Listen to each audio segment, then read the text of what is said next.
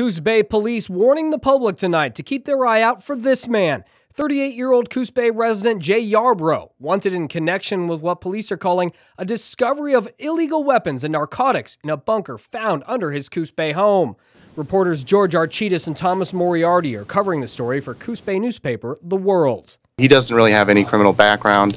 Um, I talked to one of his childhood friends. He had never really heard of any kind of violence that he had. On Wednesday, while Yarbrough was in a hospital intensive care unit for a lung infection and sepsis, his wife filed a report with Coos Bay police alleging a domestic violence assault.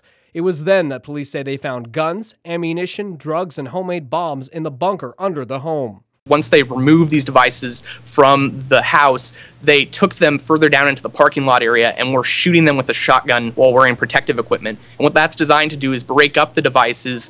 As that happened, Yarbrough got a tip at the hospital and escaped. Just darted out, got out of there as fast as possible. Coos Bay police say Yarbrough is aware that police are searching for him and he may be armed. They describe him as anti government and say he may be traveling in connection with a dark green Chevy Suburban, Oregon license plate 897 FPD.